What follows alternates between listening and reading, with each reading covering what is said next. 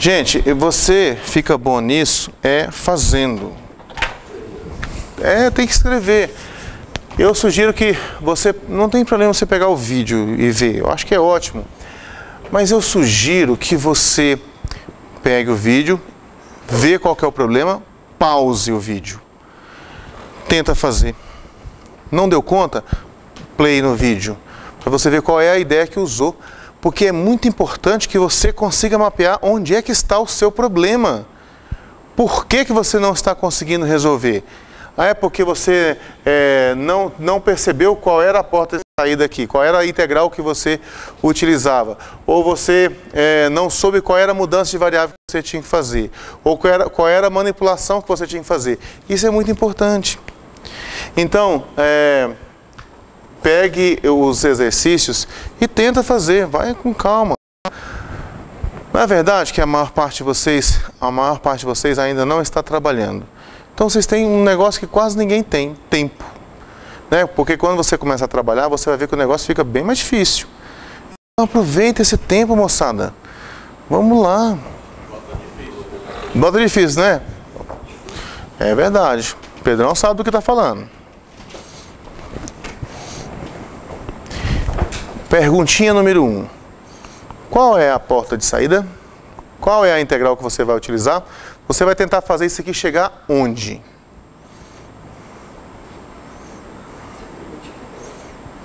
Você tem 20 ali para você olhar. Ó.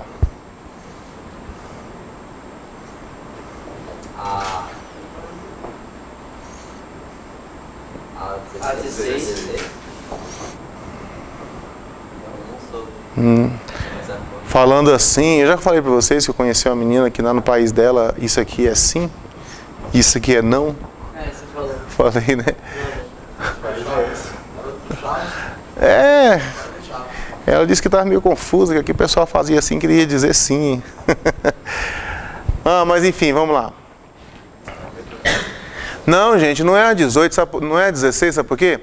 A 16 não tem esse X aqui em cima, não. Tá vendo? Não é a 16. Qual seria?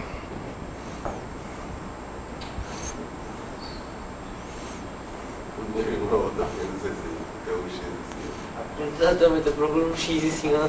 Ou a coisa, né, cara?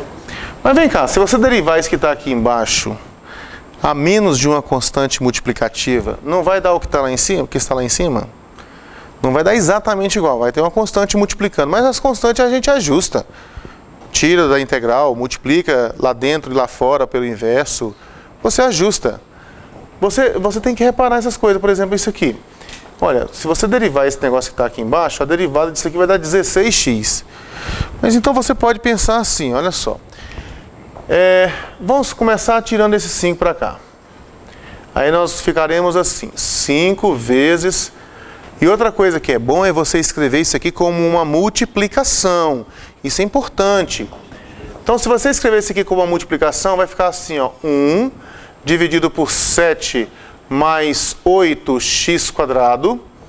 E aqui multiplicado por x dx. Eu penso que talvez fosse interessante a gente pensar na integral número 3.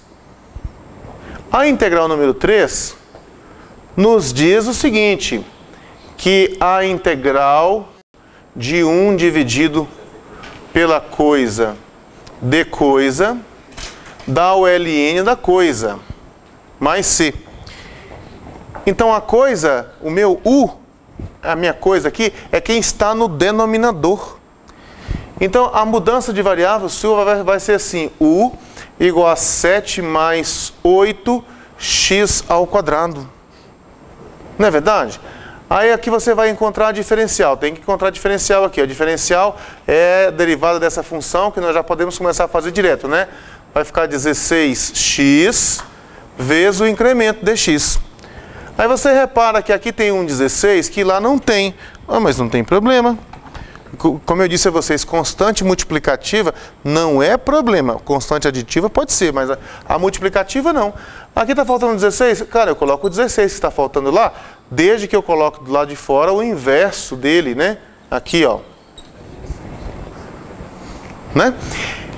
Então, agora, agora você pode falar em, é, você pode começar a falar em fazer mudança de variável. Já está preparado o ambiente, né? O terreno já está prontinho, ó. Então aqui nós vamos ficar assim, ó, com 5 dividido por 16, multiplicado pela integral, ali vai ficar assim, 1 sobre u multiplicado por du. Porque nós chamamos esse de baixo aqui de u, e esse aqui é o que nós obtivemos como du. Olha aqui o du. du. Aí você tira uma coisa e coloca outra. Agora essa aqui você vai usar a integral número 3 só. 1, 2, 3. Aí você ficará assim, ó, com 5 16 avos de ln de módulo de u mais constante. Só que esse u, ele vale 7 mais 8x quadrado. Então vai ficar 5 16 avos vezes ln. 7 mais 8x quadrado não dá negativo nunca, né? Isso aqui é uma soma que vai dar sempre positiva. Porque qualquer número negativo ou positivo é elevado ao quadrado é positivo. Se multiplica por 8, que é positivo, continua positivo. Se adiciona com 7, continua positivo. Então o módulo não é necessário, vai ficar assim, 7 mais 8x ao quadrado mais constante. Não, não erra não. Fica certo. Só é desnecessário, mas fica certo também. Viu? Agora, vamos chamar esse aqui de... Não sei qual é a letra, vamos começar de novo, vai. A, esse aqui B. Agora eu quero que vocês pensem nisso aqui. E se fosse assim, ó. 5 dividido por 7 mais 8x quadrado. Para onde que você vai? Agora você vai para 16. Vamos colocar a 16 aqui do ladinho, só para a gente ver ela. Aqui, ó, vamos colocar ela aqui, ó. 10, 15, 16. A 16 falou assim, que integral de 1 dividido por 1 mais coisa ao quadrado de coisa, isso dá o arco tangente da coisa mais constante. Essa é a 16. Só que para você poder usar a 16, você tem que chegar nesse formato. Então eu preciso manipular de novo a minha expressão ali até ela ficar com essa cara. Eu lhe pergunto, o que, que eu posso fazer aqui para poder isso, a primeira coisa é colocar o 5 para fora. Aí vai ficar 5 vezes a integral de 1 dividido por 7 mais 8x quadrado dx. E agora? Lembre-se que eu quero chegar aqui. A minha o meu u é a coisa aqui das nossas integrais, né? O meu quadradinho é que é u. Então eu não estou em condições de falar em quadradinho ainda. Eu preciso, primeira coisa, fazer aparecer esse número 1 aqui. Como que faz aparecer esse número 1? As duas maneiras que vocês falaram dá para resolver, né? Eu posso colocar o 7 em evidência aqui embaixo, ou eu posso dividir em cima por 7 e embaixo por 7 também. Ok? Então, se você quiser, você pode fazer dos dois jeitos. Então, aqui vai, vai ficar assim, ó, o 5 que já estava lá continua.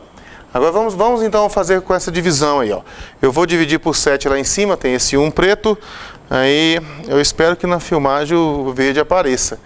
Não sei se vai dar certo. Ó, eu vou dividir por 7 aqui em cima.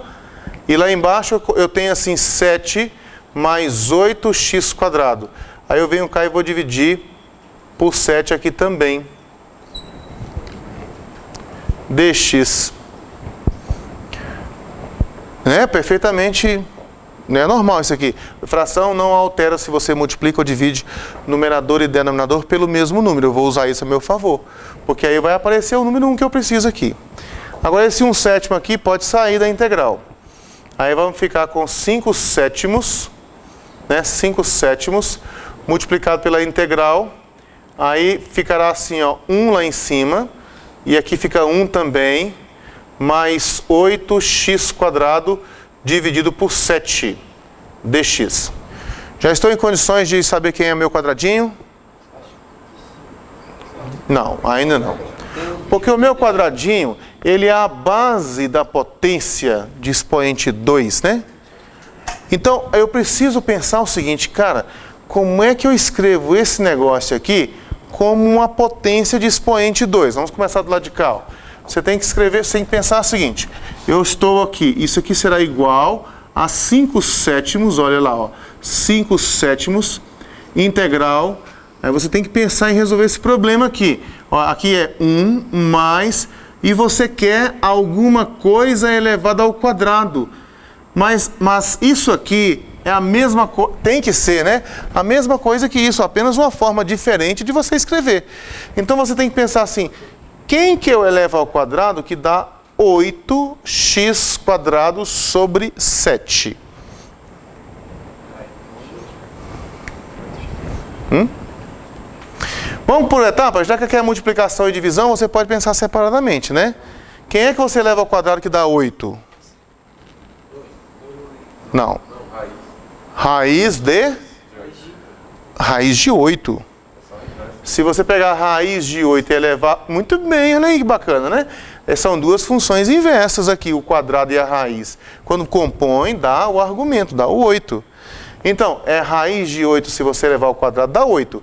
Então, esse número aqui, ó, tem que ter um 8 bem aqui. Opa! Tem que ter uma raiz de 8 aqui. Ixi. Ó, tem que ter uma raiz de 8 aqui. Quem é que você eleva ao quadrado que dá x quadrado? X, só o x, né? Se você pegar o x e elevar ao quadrado, dá x ao quadrado. Quem é que você eleva ao quadrado que dá 7? Raiz de 7. Então aqui vai ficar assim, ó, isso aqui tudo dividido pela raiz quadrada de 7. Bom, ali apenas está escrito o que está escrito aqui, só que de uma maneira diferente, de uma maneira que eu possa agora saber quem é meu quadradinho. Tá bom. Agora vamos então, eu já sei que a minha mudança de variável vai ser essa aqui, ó. Vai ser raiz quadrada de 8 vezes x dividido pela raiz quadrada de 7. Né? Agora vamos encontrar a diferencial desse negocinho aqui. A derivada disso aqui, a derivada disso aqui, raiz de 8x sobre raiz de 7 dá o quê? Raiz de 8 dividido pela raiz de 7 né, vai ficar assim, ó, raiz quadrada de 8 dividido pela raiz quadrada de 7. Ó, a derivada do x é 1, não precisa escrever, né? Vezes o dx. Então você repara aqui agora que tem um raiz de 8 dividido por raiz de 7 junto com o dx. Eu preciso desse negócio lá, ó, eu preciso daqui, vamos voltar para cá. Aqui junto com o dx aqui, ó, eu preciso de um raiz quadrada de 8 dividido pela raiz quadrada de 7. Só que se você colocou raiz de 8 por raiz de 7 por sua conta ali, tem que compensar do lado de fora com o inverso. Com o inverso. Então aqui, eu vou, eu vou colocar os 5 sétimos aqui, ó. 5 sétimos. E aqui você vai ter que colocar assim, raiz quadrada de 7 dividido pela raiz quadrada de 8. Fazendo isso, agora é, a nossa integral vai, ser trans, vai se transformar assim, ó, 5 raiz de 7 dividido por 7 raiz de 8. E aqui vai ficar assim, integral de 1 de, é, dividido por 1 mais u elevado ao quadrado du. É, porque esse pessoal que está aqui dentro ó, é quem eu chamei de U, está bem aqui. E esse outro aqui, raiz de 8 dividido por raiz de 7 dx, olha aqui, ó, raiz de 8 por raiz de 7 dx, é o du. Agora eu fiquei diante da integral 16, né? Esculpida e encarnada. Então eu vou lá na 16 e faço assim, ó. Vai ficar 5 vezes raiz de 7 dividido por 7 vezes raiz de 8, multiplicado pelo arco tangente de U mais C. Agora volta o U ao que ele era antes. Então aqui você pode escrever assim, ó. Vai ficar, vamos, vamos puxar um negocinho para cá. Aí vai ficar assim, igual a 5 raiz de 7 dividido por 7 raiz de 8 e multiplicado pelo arco tangente de U. Mas é quem é U? O U está bem aqui, ó. Raiz de 8x sobre raiz de 7. Ó. Raiz de 8 vezes x dividido pela raiz de 7. Mais constante. Muito simplesinho, né? Eu também acho. O seu problema é enxergar. Pois é, mas veja bem. Essa questão do enxergar foi muito é, apropriado, né? O verbo que você usou, porque a gente pode comparar isso com a, a, sua, a sua visão mesmo, é, no, no, diz respeito a você enxergar em um ambiente escuro. É, quando você imagina você saindo de um sol do meio-dia, sua pupila está do zero, né? Tá bem. Aí você entra em uma sala escura. Você não enxerga nada. Mas se você ficar nessa sala escura um tempo, aí você começa a enxergar as coisas, porque a sua pupila vai, vai dilatando, né? Então, é, essa capacidade de enxergar que é, é, é, você, vai, você vai obter na medida que você vai fazendo mais exercício. Cada exercício que você faz é como se a sua pupila dilatasse um tiquinho. Aí você, nessa sala escura que você não enxerga nada, daqui a pouco você está enxergando tudo. Então é preciso, meninos, é fazer exercício. Matemática, gente, eu não vi outro jeito ainda de estudar matemática. Se alguém souber, me avisa. Matemática estuda é escrevendo, nem lendo você não, não aprende. É, é escrevendo, é escrevendo, escrevendo, escrevendo. Você aprende de outro jeito? É escrevendo, né, cara? Não tem jeito. E, e você vê, assim, igual vocês estão aí, mas vocês estão passivamente, vocês não estão no ativo. Vocês estão observando, observ vocês são só observadores. Você não aprende muito, você entende algumas coisas, você tem algumas ideias que a gente utiliza aqui, que você guarda na sua biblioteca, mas você vai aprender mesmo é na hora que você sentar e começar a tentar fazer porque aí surgem as dificuldades. E aí eu, eu, peço que vocês utilizem os vídeos nesse sentido de mostrar, de é, você ter condições de enxergar o que é que você é, sabe, o que, você não sabe, onde é que está o, o, a sua dúvida. Se você pegar o vídeo já ver ele do, primeiro ao, ao, do começo ao fim, eu não sei se é tão interessante. A não ser que você não tenha visto nada. Por exemplo, quem não viu nada de substituição. É bom ver um exercício, outro e outro. Mas chega uma hora que você tem que parar, dar o play, ver qual é o problema, pausa, tenta resolver. Não deu conta? Play. Para você ver o que, que está acontecendo lá. É, é isso.